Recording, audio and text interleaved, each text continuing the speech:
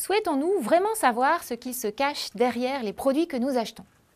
Le prix reste un critère souverain pour le consommateur, mais de plus en plus se pose la question sur les impacts de nos modes de vie sur la société. La révolution numérique rend aussi un accès plus facile à l'information, d'où un enjeu renforcé de maîtrise des chaînes de valeur pour les entreprises.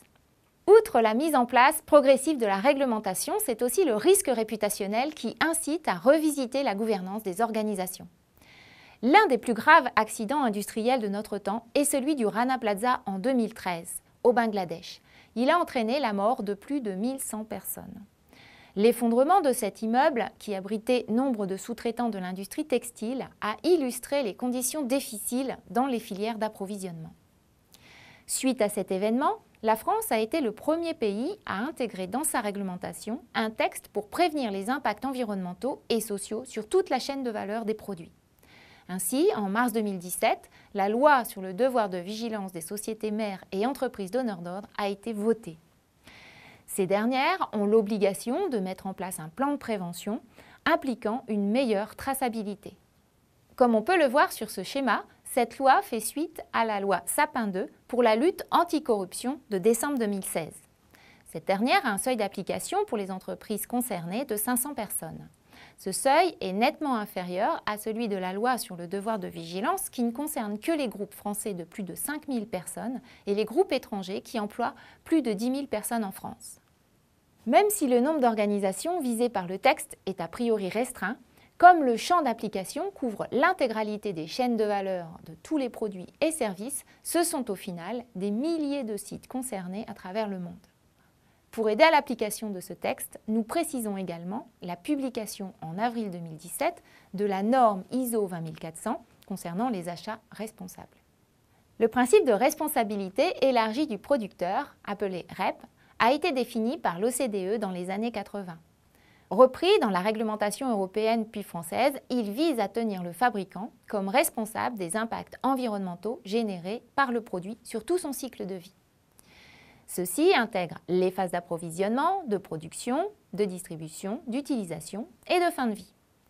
La phase de conception est essentielle puisqu'elle détermine 80% des impacts entraînés sur toute la chaîne de valeur.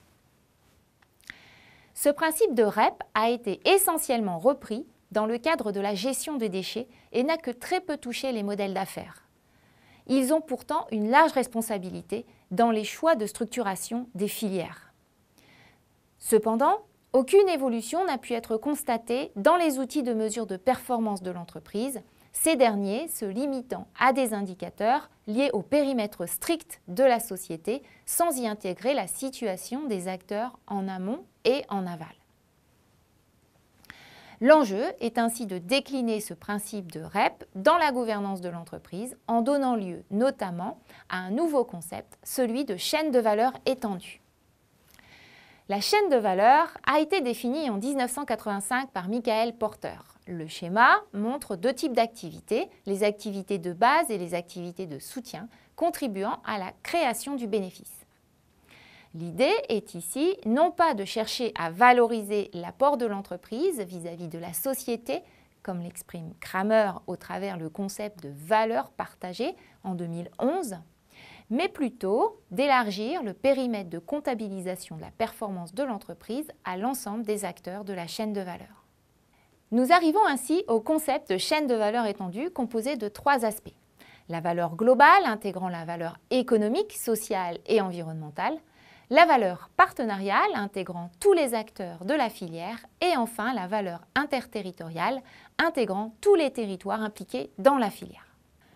De nouveaux outils de management doivent ainsi être développés afin de faire apparaître au produit du bilan économique un bénéfice environnemental et social permettant de valoriser et différencier les organisations qui mettent en place des actions responsables. Cette approche est tout à fait compatible avec la directive européenne sur les obligations de reporting extra-financier, sous réserve d'un élargissement des données extra-financières. Par exemple, les charges sociales ne doivent pas être considérées uniquement comme une donnée financière, elles doivent aussi avoir un équivalent en termes de bénéfices social, venant ainsi s'ajouter au profit économique dans la partie produit du bilan. Des outils doivent être développés comme ceux liés au coût global par exemple, afin de permettre une évolution plus aisée vers des systèmes circulaires et d'économie de fonctionnalité.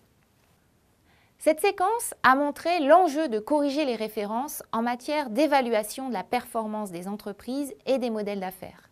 Performance qui ne peut plus se limiter à l'aspect purement financier. Il faut réellement intégrer les bénéfices sociaux et environnementaux liés à la filière dans son ensemble grâce à de nouveaux outils et des modèles plus vertueux permettant d'atteindre un développement durable pour le bien-être de tous.